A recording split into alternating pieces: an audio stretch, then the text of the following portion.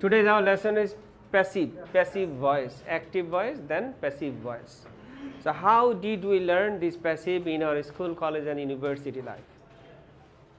First of all, we I like to discuss about the previous passive where we learned in our school, college like active and passive. যেমন এখানে আমি active সেন্টেন্সটা একটু দেখাচ্ছি স্কুলের active যেমন I eat rice. এই বাংলার অর্থ হচ্ছে আমি ভাত খাই। এটা যখন আমরা প্যাসিভে করেছি স্কুলের নিয়মে, সেটা ছিল এরকম। এই, এটা হলো এখানকার অবজেক্ট আর এখানে প্যাসিভে এই অবজেক্টটা হয়ে যাবে সাবজেক্ট রাইস এরপর একটা বি আনতে হবে, যেমন ইজ প্রেজেন্ট হইলে ইজ তাহলে রাইস ইজ আর এরপরে ওই প্রেজেন্ট ভার্বটা হয়ে যাবে পাস্ট পার্টিসিপাল ফর্ম ইটটা হয়ে যাবে ইটেন তা রাইস ইজ ইটেন তাই তো? এরপরে সাবজেক্টটা হয়ে যাবে বাই এর মাধ্যমে অবজেক্ট এখানে তার আগে একটা বাই আসবে, তখন হয়ে যাবে এখানে অবজেক্ট যেমন বাই মি তাহলে ইংরেজিটা হচ্ছে rice is eaten by me এবার এই বাংলার অর্থ কি দাঁড়াল? আমার দ্বারা ভাত খাওয়া হয়। এটার বাংলা অর্থ হচ্ছে আমি ভাত খাই, আর এটার অর্থ হচ্ছে আমার দ্বারা ভাত খাওয়া হয়। তো এই হচ্ছে আগের গতানুগতিক passive active voice then passive voice এই রুলেই কিন্তু আমরা প্যাসিভ শিখে আসছি। কিন্তু একটু চিন্তা করে আমরা যদি দেখি, এই বাংলা যে, এটার যে বাংলা অর্থটা, এরকম বাংলা কিন্তু কোনো বই পুস্তকে নাই। আছে কি আপনারা পাইছেন কোনো দিন নাই। তাহলে যেই কথা বাংলায় কোনো দিন বলা হয় না ওই রকম উল্টা উল্টা পাল্টা প্যাসিভই কিন্তু আমরা আগে অ্যাক্টিভ ভয়েস থেকে প্যাসিভ ভয়েস করেছি, যেটা শিখে আদৌ আমাদের কোনো লাভ হয় নাই। আরেকটা বাক্য নিয়ে আমি আলোচনা করি। আই প্লে ফুটবল এই বাক্যটার বাংলা অর্থ হচ্ছে, আমি ফুটবল খেলি। এটা অ্যাক্টিভ সেন্টেন্স এটাকে যদি আমরা গতানুগতিক প্যাসিভ বানাই, তা আমরা এখানে ফুটবলটা হয়ে যাবে এখানে সাবজেক্ট তাহলে আমি নিলাম ফুটবল বিভার্ব আমি নিলাম ইজ, প্লেটা তিন নাম্বার ভার্বে আমি রূপান্তরিত করব, তাহলে হয়ে যাবে প্লেট, আর সাবজেক্টে আমি অবজেক্ট বানাবো বাই দিয়া, তাহলে হয়ে গেছে বাই মি। এবার বাংলা অর্থ হচ্ছে, আমার দ্বারা ফুটবল খেলা হয়। আমার এরম বাক্য বাংলা কোনো বইয়ের মধ্যে খুঁজে দেন তো, পাইবেন কেউ? তাহলে এই বাংলা যেটা আমরা কোনোদিন বলি না, সেই বাংলার, সেই প্যাসিভ আদৌ কি দরকার আছে? নাই। কারণ এটা যেটা বলি না, এটা আমরা কখনো বানাতে পারব না। বাংলার সাথে ইংরেজির ম্যাচিংটা হয় না। তো এভাবে কিন্তু আমরা আগে শিখে আসছি। তাহলে যেটা কাজে লাগে না ওই রকম প্যাসিভ আগেও আমরা জানতাম, এখন আমরা ওই রকম প্যাসিভ শিখব না। যেই প্যাসিভ কাজে লাগে যেটা বই পুস্তকে আছে, যেই বাংলা কথাগুলো সচরাচর আমরা যে বাংলাগুলো বলে থাকি ওই বাংলার যাতে প্যাসিভটা আমরা বানাতে পারি। আজকে আমরা ওই রকমের প্যাসিভ শিখব, যেটা আজকে থেকে আমরা কাজে লাগাতে পারব। তাহলে এই প্যাসিভের জন্য আমি চারটা বক্স ব্যবহার করি। এক নাম্বার বক্স দুই নাম্বার বক্স তিন নাম্বার বক্স চার নাম্বার বক্স এই চারটা বক্স আমার প্রয়োজন হচ্ছে। প্রথম বক্সে আমি সাবজেক্ট বসাই। দুই নম্বর বক্সে আমি বি ভার্বটাকে বসাবো। বি ভার্বস কারণ প্যাসিভ বাক্যে প্রতিটা বাক্যের মধ্যে কি থাকে? বি ভার্ব থাকে। এবার তিন নাম্বার ইয়েতে আমি ভার্বের তিন নাম্বার শাড়িটা বসাবো।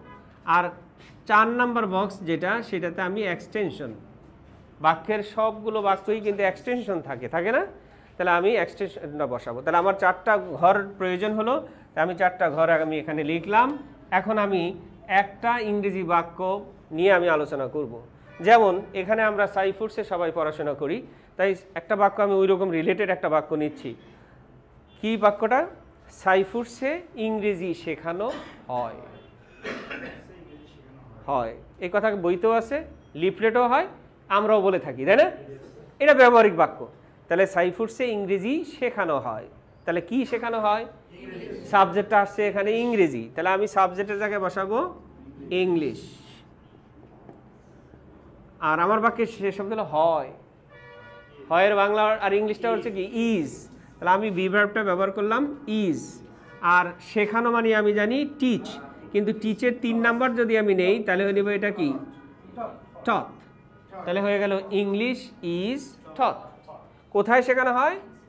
সাইফুডসে আমি এক্সটেনশনের ঘরে বসাবো অ্যাট সাই ফুডস আমি আরও বড় করতে পারি, সহজে, সকালে, বিকালে হ্যাঁ? আরও বড় করে দিতে পারি, কারণ এক্সটেনশন তো এক্সটেনশনই বর্ধিতাংশ থাকে। তাহলে আমার বাক্যটা দাঁড়িয়ে গেল, English is taught at Saifurs, সাইফুডসে ইংরেজি শেখানো হয়। তার মানে কি বোঝালো? আমি একটা ব্যবহারিক বাংলার প্যাসিভ ইংরেজিটা আমি করতে পারলাম আমার এই স্ট্রাকচারের আলোকে। এখানে অন্য কোনো রুলসের প্রয়োজন নাই। আমি সাবজেক্টের জায়গায় সাবজেক্ট বসাবো বিভার্বের জায়গায় বিভার বসাবো ভার্বের তিন নম্বর জায়গায় তিন নম্বর বসাবো, বাকিটা বর্ধিতাংশ থাকবে। আমি এটা যদি ফলো করি, আমি যে কোনো বাংলা, এই এই ধরনের বাংলা বাক্যকে আমি খুব সহজে ইংরেজি বানাতে পারব। এখন এই একটা বাক্যকে আমি যদি ইচ্ছা করি, আমি আরও একাধিক বাক্য বানাতে পারব। যেমন, কথা কিন্তু আমরা শুধু এক সময় দিয়ে বলি না, বিভিন্ন সময় দিয়ে কথা বলি। বর্তমান থেকে অতীতে যায়, অতীত থেকে ভবিষ্যতে নেওয়ার প্রয়োজন হয় আবার এটা চলমানেও কিন্তু ব্যবহার হয় হয় না? আসেন আমরা এই বাক্যটাকে এখন আমরা কয়টা বানাতে পারি একটু দেখি। এবার এটাকে আমরা দুই নম্বর বাক্য বানাবো। দুই নম্বর অর্থাৎ পাঁচটে নিয়ে যাব। যদি আমি পাঁচটে নেই, আপনারা আমাকে বলেন, কোন জায়গাটা আমি চেঞ্জ করব? বি ভার্বটা শুধু আমি একটা জায়গায় ক্লিক করলে আমার এনাফ তাহলে আমার সেন্টেন্স হয়ে গেছে English was taught at Saifurs বাংলাটা হচ্ছে সাইফুডস ইংরেজি শেখানো হয়েছিল। তার মানে ইজ মানে হয়, ইংরেজি শেখানো হয় ওয়াজ মানে ইংরেজি শেখানো হয়েছিল। এটা আগে অতীতের কথা সিম্পল পাস প্রেজেন্ট পাস্টে চলে গেছে। এবার আমি এই বাক্যটাকে নিয়ে যাব ফিউচারে বাংলাটা হবে সাইফুডসে ইংরেজি শেখানো হবে। আচ্ছা হবে ইংরেজিটা হয়ে যাচ্ছে, কি বলেন তো?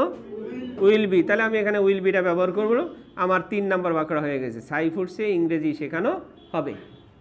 English will be taught at Saifurs বাক্য হয়েছে নাকি হয় নাই? তাহলে সাইফুডসে ইংরেজি শেখানো হবে। আমি এই বাক্যকে এখন কন্টিনিউসে নিব। তাহলে আমি এখানে ইজ বিংটা ব্যবহার করব। ইজ সাথে একটা বিং আসবে। English is being taught at Saifurs আর এটার বাংলাটা হয়ে যাচ্ছে সাইফুডসে ইংরেজি শেখানো হচ্ছে। কারণ চলমানের কথা রানিং সাইফুডসে ইংরেজি শেখানো হচ্ছে। এইটাকে আমি এখন অতীত চলমানে যদি নেই, তাহলে আমি একটা ওয়াজ বিং ব্যবহার করব। English was being taught at Saifurs সাইফুডসে ইংরেজি শেখানো হচ্ছিল।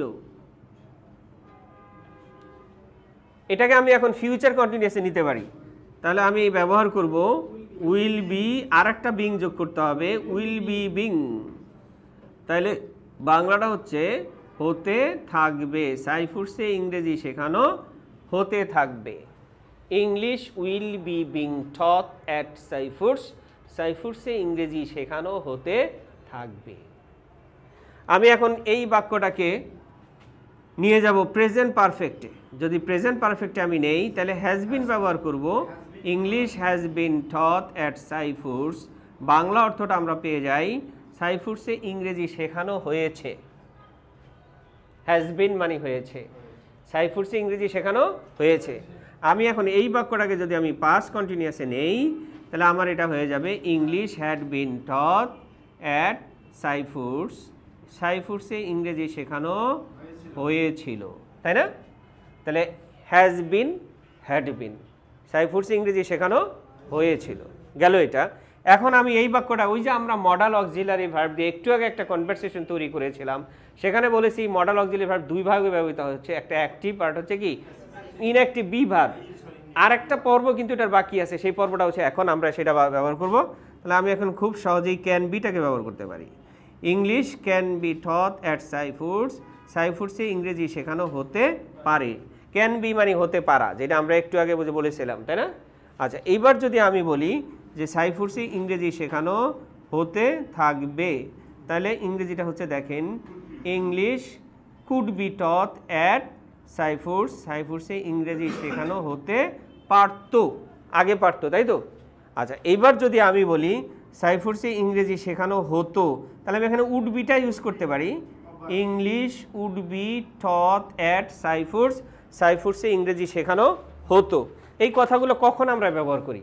আমরা অনেক সময় বলে থাকি যে কোনো এক সময় সাইফুডসে ইংরেজি শেখানো হতো। Once upon a time English would be taught at Saifurs তার মানে বাংলাটা যাচ্ছে, কোনো এক সময় সাইফুডসে ইংরেজি শেখানো হতো। এরপরে আমরা এই বাক্যটাকে নিয়ে যেতে পারি English should be taught at Saifurs তাহলে ইংরেজি শেখানো উচিত বা হওয়া উচিত।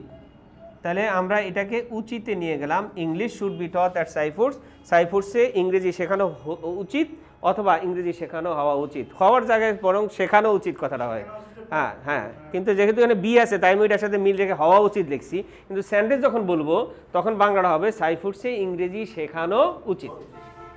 এবার আমি এই বাক্যটাকে মেবিতে নিয়ে যাব। English may be taught at Saifurs সাইফুডসে হয়তো ইংরেজি শেখানো হতে, হয়তো হতে পারে। হয়তো হতে পারে। English may be taught at Saifurs সাইফুডসে হয়তো ইংরেজি শেখানো হতে পারে। এবার মেবির পরে মনে হয় মাইড বিটা আছে আমাদের। তাহলে আমরা নিতে পারি মাইড বি তাহলে English might be taught at Saifurs সাইফুডসে হয়তো ইংরেজি শেখানো হতে পারতো। এইটা ব্যবহার করব। এবার আমাদের লাস্ট ওয়ার্ডটা ছিল সম্ভবত মাস্ট বি তাহলে আমরা মাস্ট বিটাকে এখানে ইউজ করি। তাহলে English must be taught at Saifurs সাইফুডসে অবশ্যই ইংরেজি শেখানো হবে। অবশ্যই ইংরেজি শেখানো হবে। তো আমরা দেখলাম খুব সহজেই একটা ইংরেজি বাক্য থেকে পনেরোটা ইংরেজি বাক্য তৈরি হয়ে গেল। শুধু আমরা একটা জায়গায় ক্লিক করলাম, সেই জায়গাটা ছিল বি ভার্ব কোন জায়গাটা? দেখেন আমরা বি ভার্বটা কি আমরা ক্লিক করে, কিন্তু আমরা একটা বাক্যকে সর্বোচ্চ পনেরোটা বাক্য বা তৈরি করেছি। অথচ এই জীবনে প্যাসিভ পড়ে মনে হয় না, একটা বাক্য ঠিকমতো বানাতে পেরেছি। কিন্তু আমরা যদি এই ফরম্যাটটা ইউজ করি, খুব সহজেই আপনি যে কোনো একটা বাক্য থেকে আপনি পনেরোটা ইউজিলি ইউজ করতে পারেন। আর এখানে আরেকটা জিনিস লক্ষণীয়, সেটা হচ্ছে বি ভার্বটা বি এখানে আমরা আগে যেভাবে পড়েছিলাম সেভাবে কিন্তু বসিয়ে দিয়েছি।